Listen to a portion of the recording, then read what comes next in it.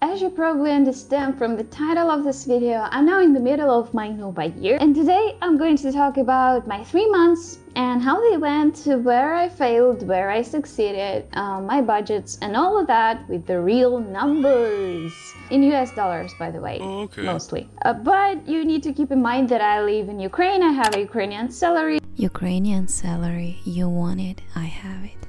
Ukrainian prices, so probably some of the numbers will surprise you in one way or another. And as a bonus, uh, I prepared for my patrons a nice PDF sheet as well as the Google sheet with some nice setup uh, with the rules of a no buy period and all the other stuff that helps me to stick to it and control everything. And you know what? When you control something, you feel a little bit calmer. First of all, I have my uh, notebook here where I track everything and my phone here, you know, with all the numbers, so I occasionally will look at it. Let's start with the rules I had. My rules for you know by year is I just mustn't buy clothes and accessories, houseware, technology, decor, alcohol, stationery, furniture, renovation, and cosmetics. In a minute, you will find out that I failed at a lot of them. What are my goals for that? I believe that if you don't set up the goals for you know by period, it will be a lot harder to not give up.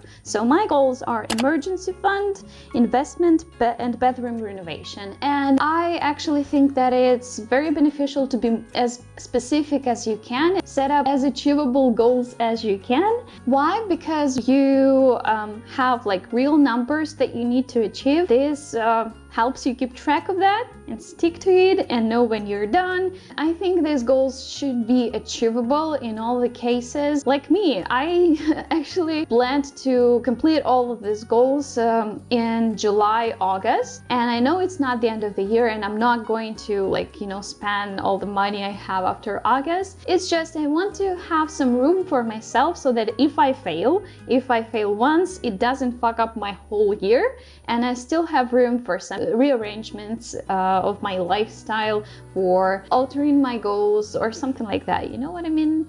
You know, life happens. We're just humans. We need the room for being humans, I believe.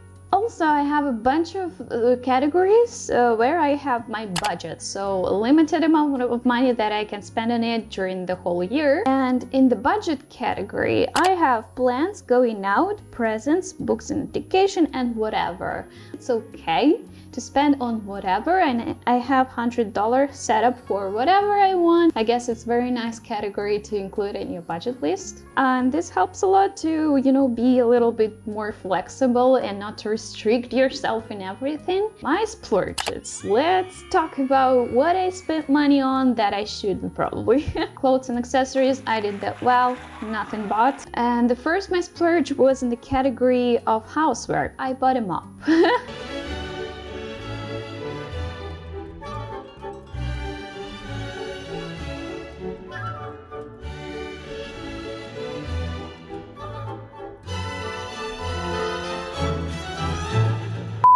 not something like splurge splurgy that you bought only to treat yourself of course. I actually had my mop broken a few months ago and you know what? I could use it. Just i had to you know squish the soft part with my hands because structure that does that it broke. So i decided to just buy a new one and not to squish it with my hands although i could use that broken mop if i just used it with a little bit more effort. But i still decided to buy a new mop that cost $14.50 so i include this mop for $14 in my whatever section, which is super okay and uh, it means that I didn't fail at all. Uh, technology. I didn't spend anything on that, but as soon as I say that I need something that's connected to technology, you know, some equipment stuff, and my husband is like, say no more. And he looks for it and buys it and organizes delivery, and I'm like, what is that weird thing that you bought?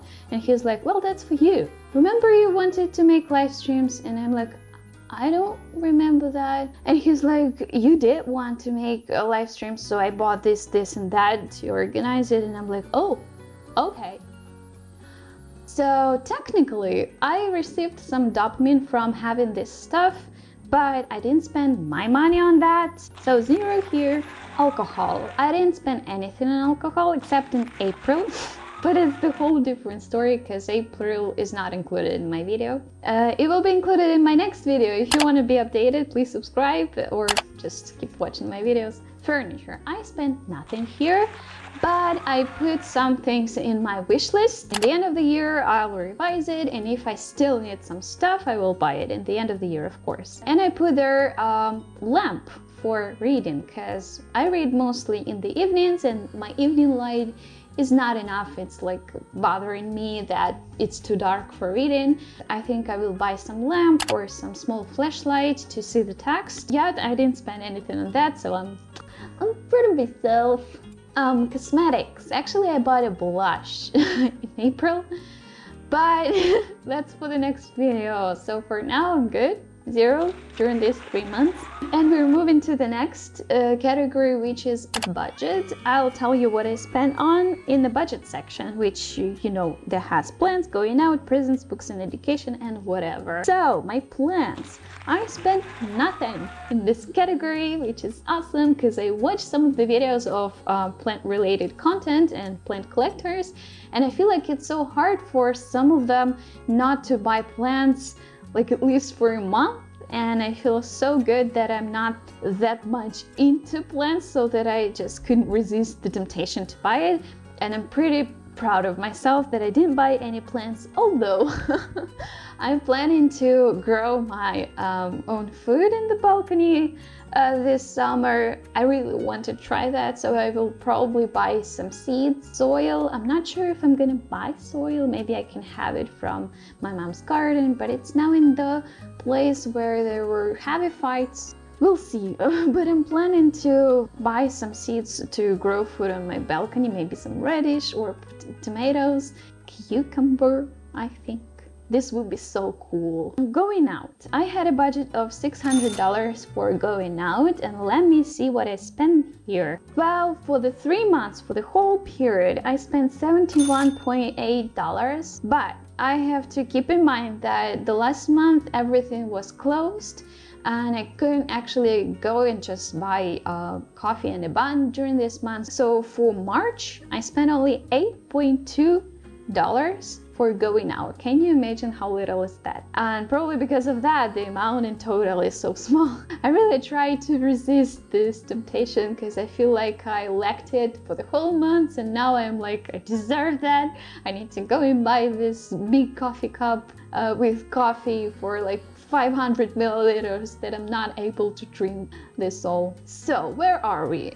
Okay, going out, I spent $71.8 and I have 528 and $2 left for the whole year. Next one, presents. You know, uh, my husband had a birthday at the 24th of February, the same day the Russian army invaded Ukraine, which is so funny. I spent some money on presents for him. This was $32.2 and as I had the budget of $100 for presents for the whole year, uh, I have $67.8 left for presents. Uh, knowing the fact that the majority of my family left the country and went abroad, this will probably be a good year for uh, my present expenses. I'm probably not going to give them anything for their birthdays because they are abroad and it's not known when they can come back. You don't know what happens the next week, so you don't plan for the whole year. Books and education. I took two books from my colleague that lives really close to me and I'm lucky about that. But these books are not something that I want to read, so I'm this close from buying books because I need something that I'm interested in and now I have books about marketing which is super useful I believe for a lot of people, especially for me as building sort of my, you know, brand. But I still want to something really interesting for me and I can't find it in libraries to be honest so maybe I'll buy something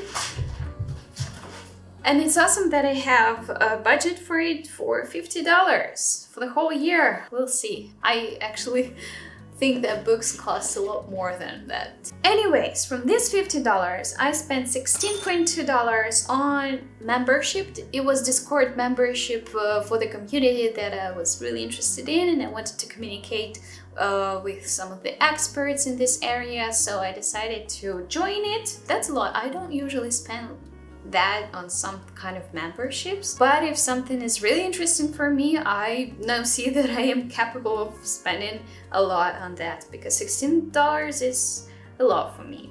Uh, what's left?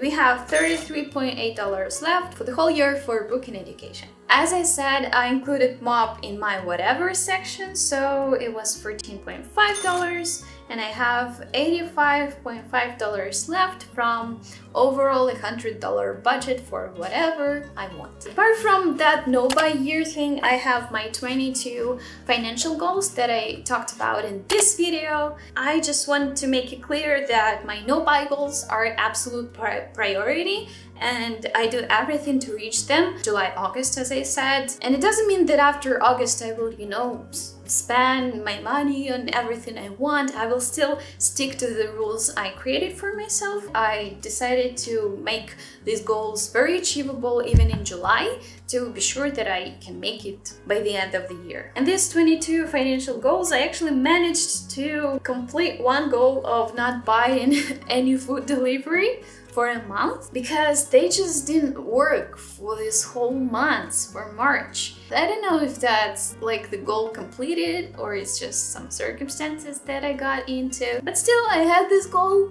I checked it, I'm good. Documenting this all actually helps me to stick to it and not to fail that fast. So if you're interested in the same convenient spreadsheet for yourself, for your no-buy setup, you can go to my Patreon page where I share it with my kitty patrons and further levels. Also, you can go ahead and watch this video, which is about the things I try to simplify my life with.